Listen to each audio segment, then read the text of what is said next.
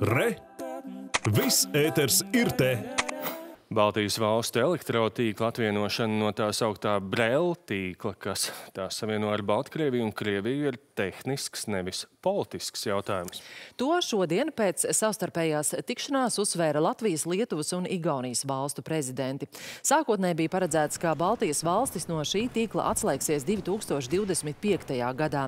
Taču Krievijas sāktais karš Ukrainā politisko vēlmi kļūt neatkarīgiem arī šajā ziņā padarījis straujāku. Publiskajā telpā informācija informācija par iespējamo desinhronizācijas datumu bijusi pretrunīga. Lietuva iepriekš Igaunijai pārmetusi vēlmi atvienošanos atlikt. Tomēr šodien prezidenti šajā jautājumā pauda vienotību. Man radās iespējas, ka nav nekādu politisku problēmu. Politiskais atbalsts ir spēcīgs. Varbūt kādas tehniskās iespējas būtu jāpārbauda un jāpadara caurspīdīgas. Bet es ceru, ka mēs varēsim atrast risinājumu, kas būtu labvēlīgs mums visiem. Pirms kara bija nolemts, ka desinhronizācija tiks pabeigta 2025. gadā.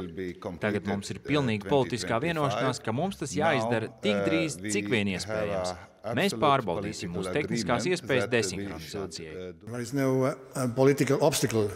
Nav politisku šķēršļu desinhronizācijai. Protams, ir tehniskas problēmas, un mūsu analītiķi veic analīzi. Ja mēs to varēsim izdarīt agrāk, tad darīsim agrāk. Bet, ja Krievija to izdara vienpusēji, mēs esam gatavi arī tam. Mēs izdzīvosim. Šodien notikušajā Baltijas valstu prezidentu gadskārtajā sanāksmē amatpersonas apspried arī jautājumus par atbalstu Ukrainai un nepieciešamību īstenot dzelzceļa projektu Rail Baltica.